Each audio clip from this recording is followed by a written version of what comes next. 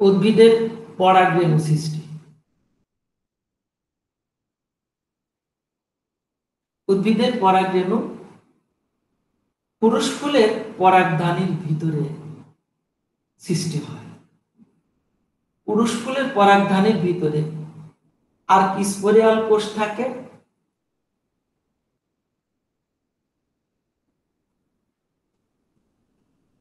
আর কি স্পোরিয়াল কোষ বিভাজিত হয়ে দুটি কোষ সৃষ্টি করে। একটা কোষ বাইরের দিকে থাকে আর একটা কোষ ভিতরের দিকে থাকে। বাইরের দিকের কোষটাকে বলা হয় দেয়াল কোষ আর ভিতরের দিকে স্পোরোজেনাস কোষ। এই স্পোরোজেনাস কোষ বারবার বিভাজনের মাধ্যমে অথবা সরাসরি পরাগরেণু মাতৃকোষে পরিণত হয় প্রতিটি পরাগরেণু মাতৃকোষ বিভাজিত হয়ে চারটি করে পরাগরেণু সৃষ্টি করে। পরাগরেণু চারটি একসাথে যুক্ত থাকে, এই জন্য একে বলা হয় টেটাট প্রতিটি পরাগরেণু দেখতে গোলাকার বা ডিম্বাকার এতে নিউক্লিয়াস থাকে। এটা হলো পরাগরেণু সৃষ্টির পদ্ধতি। এই সম্পূর্ণ ঘটনাটি পুরুষ ফুলের এই পরাগধানের ভিতরে ঘটে। এখন পরাগরেণুর গঠন। তো আগে আমরা পরাগরেণুটা সৃষ্টি করলাম। এখন পরাগরেণুর গঠনটা দেখে নে। পরাগরেণু দেখতে গোলাকার, ডিম্বাকার লম্বাকার বা আয়তাকার হতে পারে। ইহা দুই স্তর বিশিষ্ট একটি আবরণী দ্বারা আবৃত থাকে। এক্সাইন এবং ইনটাইন। বাইরের আবরণীটিকে বলা হয় এক্সাইন এবং ভিতরেরটিকে বলা হয় ইনটাইন। এক্সাইন অমসৃণ এবং খাস যুক্ত। ইনটাইন মসৃণ এবং খাস থাকে না। এক্সাইনে ক্ষুদ্র ক্ষুদ্র অসংখ্য ছিদ্র থাকে। এই ছিদ্রগুলোকে বলা হয় জন ছিদ্র প্রতিটি পরাগরেণুর ঘন সাইটোপ্লাজম থাকে। ঘন সাইটোপ্লাজম থাকে। এর ভিতরে একটি নিউক্লিয়াস থাকে।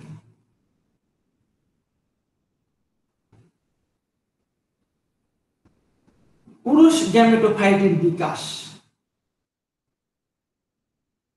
পুরুষ গ্যামেটোফাইট পরাগ রেণু পরাগ নালিকা নালিকা নিউক্লিয়াস এবং পুরুষ গ্যামেট একসাথে পুরুষ গ্যামেটোফাইট বলা হয়।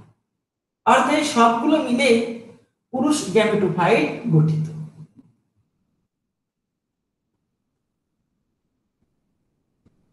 পুরুষ গ্যামেটোফাইটের বিকাশ, পুরুষ গ্যামেটোফাইটের বিকাশ ঘটে পুরুষ ফুলের পরাগধানীর ভিতরে। পরাগধানীর ভিতরে আর কি স্পোরিয়াল কোষ থাকে।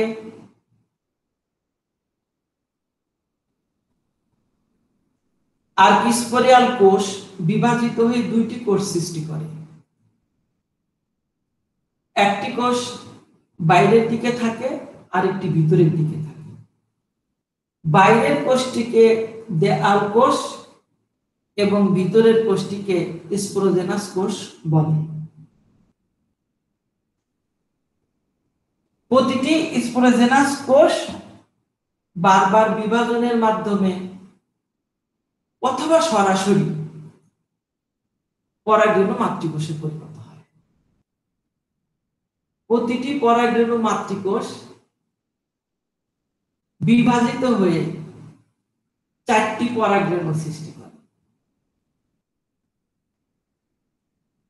পরাগরেণু চারটি একসাথে অবস্থান করে, একে বলা হয় টেটাট। টেটাট শব্দের অর্থ হলো চতুষ্টয় অবস্থা। অর্থাৎ চারটি একসাথে অবস্থান করে, তাই একে বলা হয় এটা প্রতিটি পরাগরেণু দেখতে গোলাকার বা ডিম্বাকার। ইহা দুইটা আবরণ দ্বারা আবৃত থাকে। এক্সাইন এবং ইনটাইন বাইরের আবরণীকে বলা হয় এক্সাইন ভিতরটিকে বলা হয় ইনটাইন এক্সাইনে ক্ষুদ্র ক্ষুদ্র ছিদ্র থাকে। এই ছিদ্রগুলোকে জ্বলন ছিদ্র বলে। পরাগ রেণু নিউক্লিয়াসটি বিভাজিত হয়ে দুইটি নিউক্লিয়াস সৃষ্টি করে। একটি বড় ও গোলাকার নিউক্লিয়াস, অপরটি ছোট ও চ্যাপ্টা নিউক্লিয়াস। ছোট ও চ্যাপ্টা নিউক্লিয়াসটিকে বলা হয় যৌন নিউক্লিয়াস, বড় এবং গোলাকার নিউক্লিয়াসটিকে বলা হয় নালিকা নিউক্লিয়াস। পরাগরেণুতে এই দুইটি নিউক্লিয়াস সৃষ্টি হলে পরাগরেণুর অন্তত্বক বা ইনটাইন পরাগরন্ধ্রের মধ্য দিয়ে বাইরে বেরিয়ে আসে এবং পরাগ নালিকা গঠন করে। পরাগ নালিকা গঠিত হল। পরাগ নালিকার ভিতরে নালিকা নিউক্লিয়াসটি আগে এবং যৌন নিউক্লিয়াসটি পরে প্রবেশ করে। নালিকা নিউক্লিয়াসটি আগে প্রবেশ করছে, যৌন নিউক্লিয়াসটি পরে প্রবেশ করল।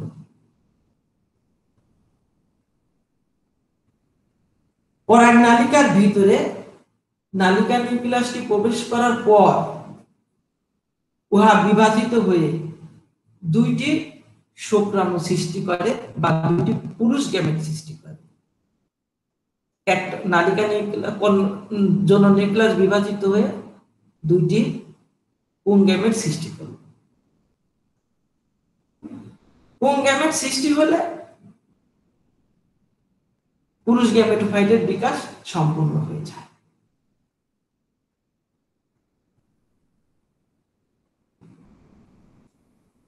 পরীক্ষায় এই চিত্রটা আঁকতে হবে এবং আমি এতক্ষণে যে বর্ণনাটা দিলাম, ঠিক সেই বর্ণনাটা উপস্থাপন করতে হবে। প্রশ্নটি খুব ইম্পর্টেন্ট পরীক্ষা আসার সম্ভাবনা সবচেয়ে বেশি পুরুষ গ্যামেটোফাইটের গুরুত্বটা একটু দেখে নিই। পুরুষ গ্যামেটোফাইটের গুরুত্ব এখানে দেখতে পাচ্ছি। ইহা পুরুষ গ্যামেট বা শুক্রাণু সৃষ্টি করে। এর শুক্রাণু ক্রিয়া ঘটায়। ইহা শস্য উৎপাদনে সাহায্য করে।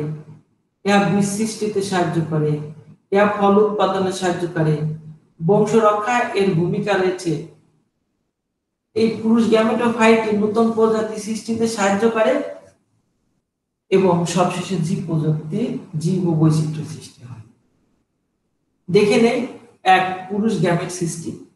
পুরুষ গ্যামেটোফাইট এর ভিতরে এই যে পুরুষ গ্যামেট বা শুক্রাণু উৎপন্ন হয়েছে, দুটা শুক্রাণু উৎপন্ন হয়েছে।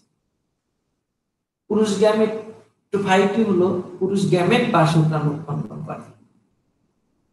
দুই নিষে গর্ভাশয়ের ভিতরে ডিম্বাণু থাকে, আর পুরুষ গ্যামেটো গ্যামেটোফাইট পুরুষ গ্যামেট বা শুক্রাণু উৎপন্ন করে, সেই শুক্রাণু ডিম্বাণুর সাথে মিলিত হয়ে নিষেধ ক্রিয়া ঘটায়। শস্য বা খাদ্য উৎপাদন। পুরুষ গ্যামেটোফাইটের পুরুষ গ্যামেট ডিম্বাণুর সাথে মিলিত হয়, আর একটা শস্য নিউক্লিয়াসের সাথে মিলিত হয়। মিলিত হয়ে শস্য বা খাদ্য উৎপন্ন করে। বীজ উৎপাদন। পুরুষ গ্যামেটোফাইটে শুক্রাণু উৎপন্ন হয়। শুক্রাণু নিষেক ক্রিয়া ঘটায়। নিষেকের ফলে ডিম্বকটি বীজে পরিণত হয়। পাঁচ, ফল সৃষ্টি। নিষেক ক্রিয়ার ফলে গর্ভাশয়টি ফলে পরিণত হয়।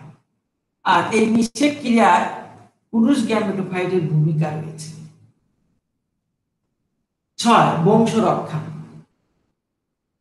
পুরুষ এবং স্ত্রী গ্যামেটের মিলনে।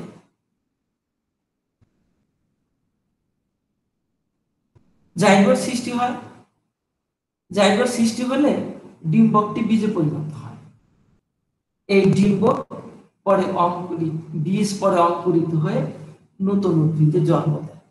তাহলে বোঝাই যাচ্ছে যে উদ্ভিদের বংশ রক্ষায় পুরুষ গ্যামেটোফাইটের ভূমিকা রয়েছে। নতুন প্রজাতি সৃষ্টি। দুই বা ততোধিক প্রজাতির মধ্যে মিলন ঘটিয়ে নতুন প্রজাতি সৃষ্টি করা হয়।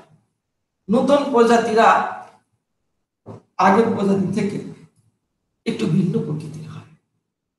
আর এই নতুন প্রজাতি সৃষ্টির জন্য নিষেধ ক্রিয়া ঘটাতে হবে নিষেধ ক্রিয়া ঘটানোর জন্য শুক্রাণু ডিম্বাণু প্রয়োজন।